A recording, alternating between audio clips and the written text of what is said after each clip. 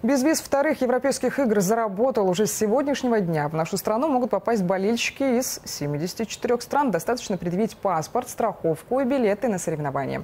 В национальном аэропорту работает наша съемочная группа, и мы узнаем у Сергея Козловича, прибыли ли первые гости спортивного форума.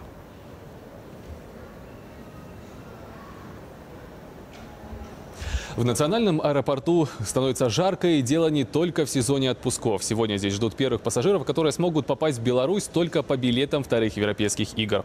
Гости смогут пройти паспортный контроль вне очереди. Специальные кабинки отмечены символикой игр. Но, несмотря на простоту проверки документов, пограничники тщательно подготовились и поддельные билеты узнают сразу. Билет достаточно хорошо защищен.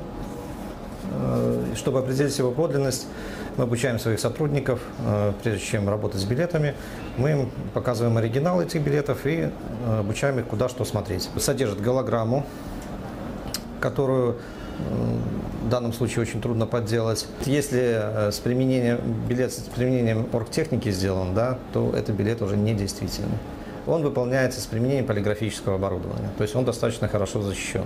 К слову, на проверку иностранцев отведено три минуты. Это если не возникнут дополнительные вопросы. На время проведения спортивного форума максимально усилены смены на всех погранпереходах. Особый контроль за так называемой зеленой границей. Нагрузки пограничникам добавят нелегальные мигранты, которые могут попытаться воспользоваться масштабным событием и пересечь границу с Евросоюзом.